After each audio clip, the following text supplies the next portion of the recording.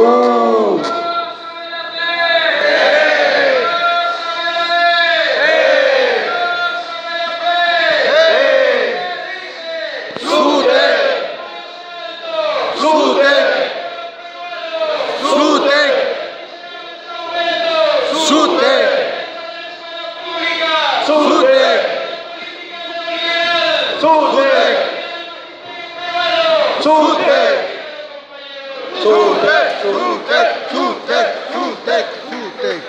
Entonces, compañeros,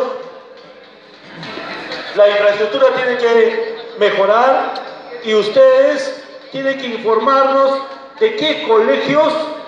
La vez pasada el ministro fue a Madre de Dios hace poco, la semana pasada, y allí había como dos o tres colegios que se han reestructurado hace muchos años y hasta ahora no terminan. Ese es un tema importante, compañeros. Entonces, el tema de infraestructura está bien. ¿Cuál es el otro tema que hay que cimentar? El otro tema es que obviamente no vamos a ir esta migaja que nos quiere dar. Nosotros queremos sueldos dignos para los maestros y para los auxiliares de educación. Porque no es justo que a los auxiliares de educación los tengan postergados. Y también en el espacio del Congreso tenemos que exigir que exista un proyecto de mejores pensiones para los cesantes y jubilados. Mire maestro, cuando un maestro de la escala tiene cargo directivo, cesa a los 65 años contra su voluntad, su remuneración que es sobre los 3.500, ¿con cuánto se va? Máximo 857. O sea, es una miseria, compañeros. Y en ese sentido tenemos que seguir trabajando. Y por eso nosotros no debemos permitir, compañeros, el debilitamiento institucional, la división, la fragmentación. Aquellos que dividen, compañeros, le hacen juego no a los trabajadores, no al magisterio, a esos políticos corruptos, aquellos que ponen políticas neoliberales en contra de la clase trabajadora. Por eso, compañeros, hay que ver por la unidad más amplia peruano. El otro tema es el por ciento de preparación de clases. El anteaño pasado dieron 135 millones. Conquista del SUTEP. El año pasado 180 millones. Conquista del SUTEP.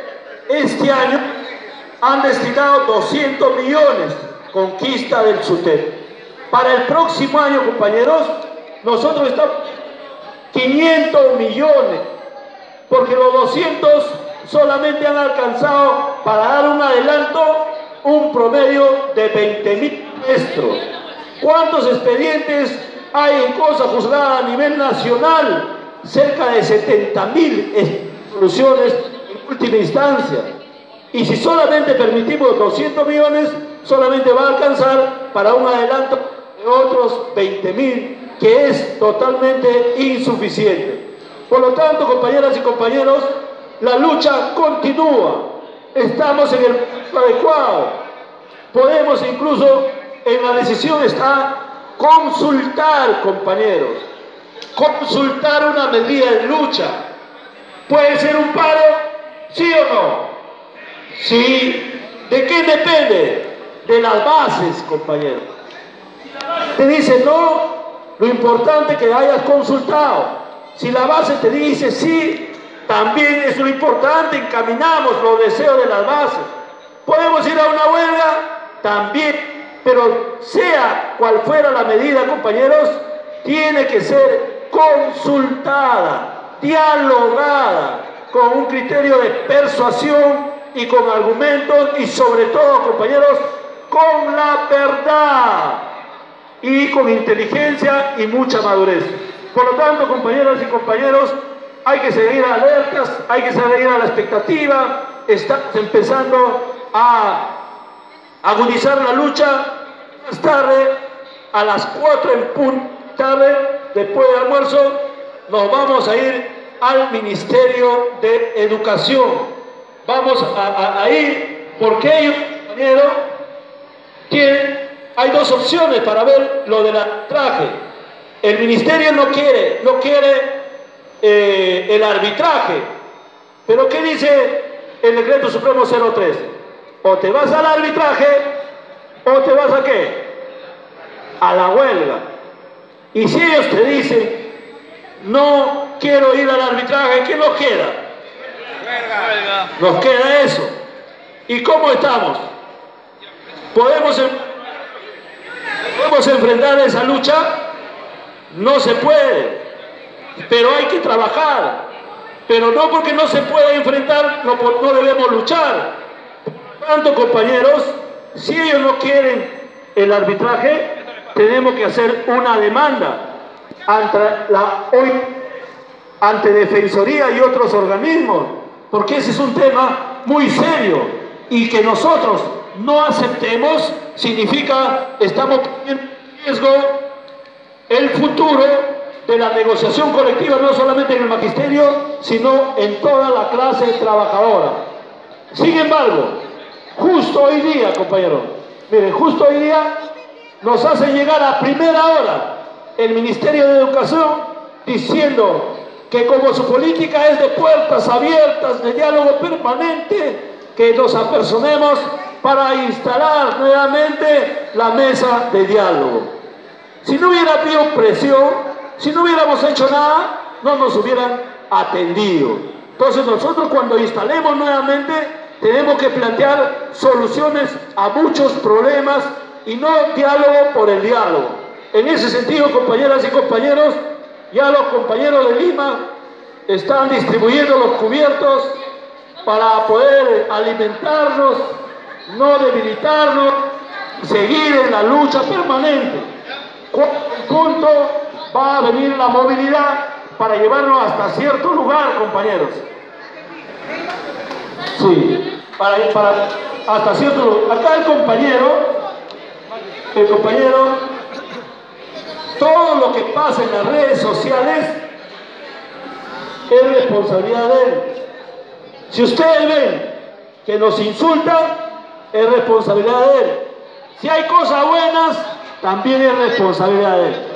Compañeros, aprovechemos a las delegaciones que han venido. No necesariamente el secretario general, puede hablar un maestro de base, puede haber un dirigente de provincia, de distrito, etcétera, con el compañero para ir sacando permanentemente y tener nuestra página actualizada, compañero. Por favor, el joven simpático, soltero, sin compromiso, para que puedan ser entrevistados por él. No le presentamos a la compañera porque hay muchos hombres y son de desconfianza. Compañero, Este es este es el documento de la confirmación de la reunión en el Congreso de la República, compañero, para el día martes. Palma, compañero, porque es, con, esta conquista de la lucha de ustedes, compañeros, del pueblo organizado.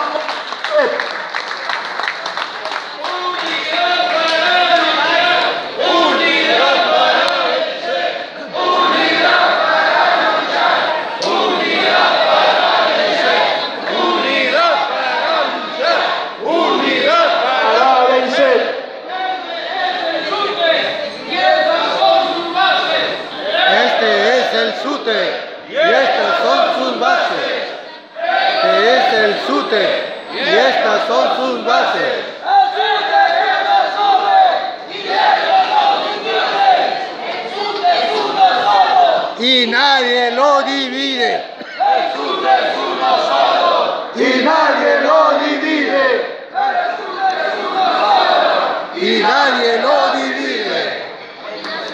Palmas compañeras y compañeros.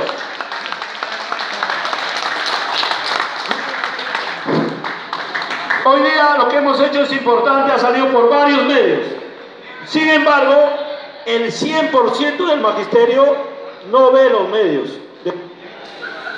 Por lo tanto, la tarea que deben hacer todos, compañeros, no solamente el dirigente, todos nosotros en cada uno de los lugares donde nos encontramos, informar, compañeros, informar, una de las debilidades que ha tenido el comité ejecutivo es la falta de comunicación, la falta de información. Ahora, compañeros, conocen las redes sociales, el FEI, CENSUTEP, ahí visiten y ahí están todas las actividades que venimos realizando, pero además las regiones también deben tener su Face y, si es posible, su WhatsApp para estar en permanente comunicación. Por lo tanto, compañeras y compañeros, una recomendación de los compañeros en antes nos comunicamos, salieron y muchos se fueron. Otros llegaron y cambiamos de punto. Entonces, yo pido, compañeros, almorcemos y nos quedemos acá. No hay que salir. Como decían muchos maestros, todos nosotros nos estamos estamos luchando para que se respete la escuela pública gratuita y de calidad y para que sea atendida nuestras justas reivindicaciones. Muchísimas gracias compañeras y compañeros. ¡Pásenme la S! ¡Colonia del pueblo de la U! ¡Pon abajo lindo la T! ¡Con el ejemplo de Horacio la E! ¡Con muy en alto la T! ¡Ese ha dicho maestro! ¡Contra la corrupción en el Congreso! ¡Sute! ¡No hay presupuesto para educación! ¡Sute! ¡Contra el neoliberalismo en el país! ¡Sute! ¡Por el cumplimiento de los compromisos! ¡Sute! defendiendo la escuela pública, defendiendo los derechos del magisterio, la unidad del pueblo peruano. Agítenlo, compañeros. Sute, sute, sute. Palmas, compañeras y compañeros de lucha, unidad y fortaleza. Compañeros, las tareas continúan mañana, mañana. 9 de la mañana, compañeros, va a haber una escuela de formación, intercambio de opiniones, intercambio de experiencias, unificación de criterios para que a nuestros lugares implementemos una serie de tareas. ¿Estamos de acuerdo, compañeros? Muy bien. Ya, compañeros, fuertes palmas para la compañera. Si el almuerzo les gusta, ella es responsable. Si no les gusta, también. La compañera Gray, fuerte palmas, compañera. Bueno, compañeros y compañeras, bienvenidos ante todo.